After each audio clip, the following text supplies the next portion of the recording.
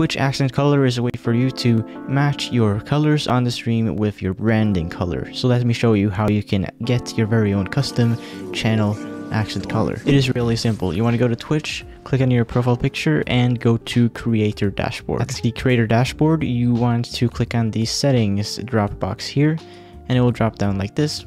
You want to click on channel. When you come to channel, press on brand, this brand section, and now you should see profile accent color.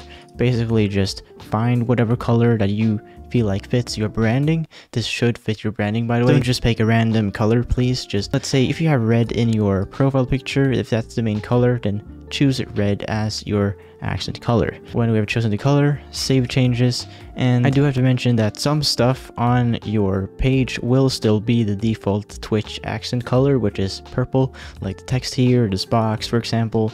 Like some stuff will still be the default color because Twitch, they want to keep their Twitch feel with their accent color. However, some stuff like when someone subscribes to you and it pops up on the chat, it will be in uh, your accent color. Then also, for example, if you go to the home page, this line is red.